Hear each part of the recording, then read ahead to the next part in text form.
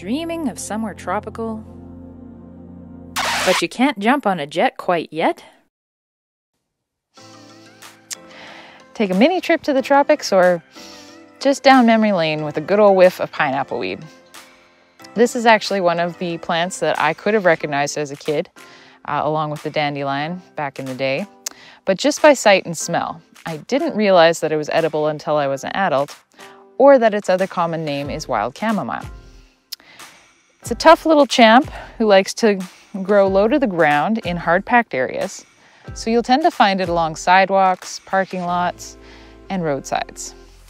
And it's great to see it there, but it's safer to harvest from a lighter traffic area where there's no chance of chemical sprays. The roots tend to want to come along with the rest of the plant when you give them a pull. So, as respectful foragers, we want to leave the roots in the ground if we aren't going to use them. This means it's a good idea to bring a pair of scissors along when collecting, just so that you can snip off the parts that you want. Give them a little haircut.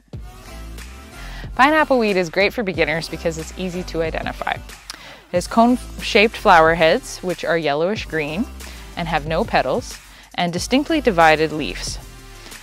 Uh, and you can always confirm with a sniff test. Who doesn't love a good sniff test?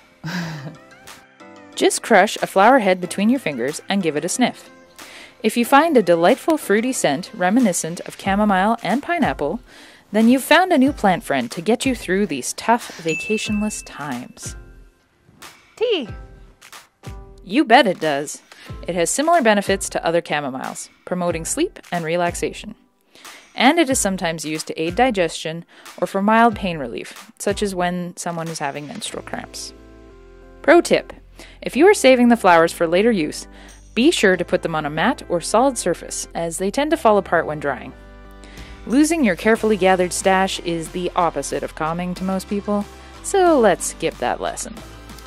To make your tea, first, bring water to a boil and pour over your flowers, either 2 tablespoons of fresh or 1 tablespoon of dried. Then steep for 5 or more minutes. Finally, strain and sweeten if desired. This drink can be served hot or iced. And if you'd rather not drink it, you can add it to a dream pillow or sachet instead. Fun fact this plant has been traditionally used as a gentle cleanser and is thought to have the ability to rid the body of pinworms. You can nibble on the flowers as a snack, or use them to liven up a salad. But if you want to let their flavor shine and impress your friends, then we recommend this yummy cookie recipe. They take a little pre planning, but are well worth the effort. Your ingredient list is as follows. A quarter cup of pineapple weed flower heads, diced, half a cup of butter, one and three quarter cups of flour, another quarter cup of pineapple weed flower heads, one cup of sugar, two eggs, half a teaspoon of vanilla, and half a teaspoon of salt. On the first day, place a quarter cup of the fresh flower heads, gently diced, into half a cup of melted butter. Then, let this infuse overnight in a warm place. On day two, preheat your oven to 350 degrees Fahrenheit. Cream your infused butter with sugar. Beat in eggs and vanilla, then add your flour and salt. Finally, fold in your remaining quarter cup of flower heads.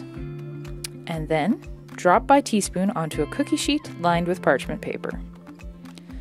Bake for 10 to 15 minutes. They are ready when the edges are golden.